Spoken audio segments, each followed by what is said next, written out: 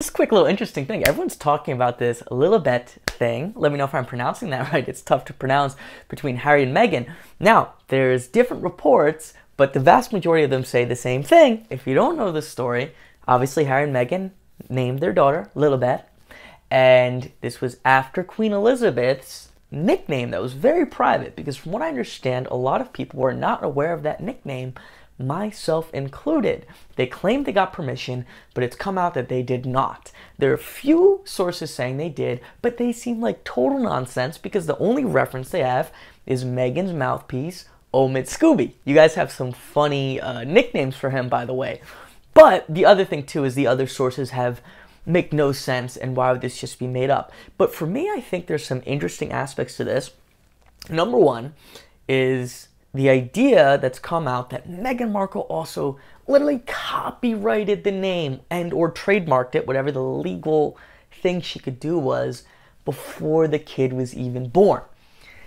That is insane, but that is very consistent with what we've seen from Harry and Meghan.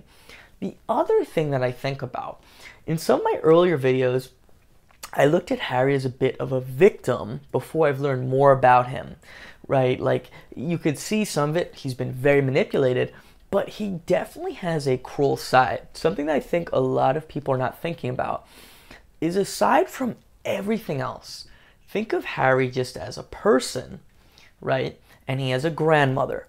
And at the time of this happening, she was 95. What kind of person would do something that upsets their 95 year old grandmother?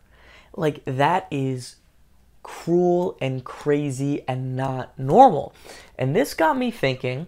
I'm sorry I don't remember who, but one of you told me about this that there were images of Harry abusing a horse, and they are absolutely true. I cannot even show them to you because YouTube does not allow certain images like cruelty and um, I don't even know if you could say the word, the stuff that happens when people get. There's an image of the horse where his spur to the horse. And you could Google that, look it up, and there were all sorts of excuses. And that's the interesting thing.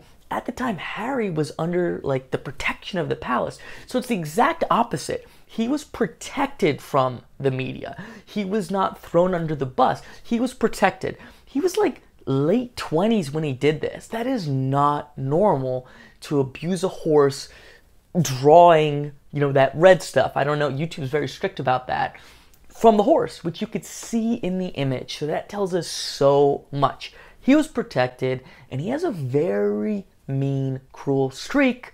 I think when he just doesn't get what he wants, and there's just something a little bit off about him. Because when you combine those two things, the cruelty to his grandmother when she was 95, 96, and cruelty to a horse, not when he was just a kid, which is already a horrible indicator, but not just a kid without emotional control, but a man in his like mid or late 20s. That is awful. So let me know guys what you guys what you guys think. Sorry, it's a little late. Take care.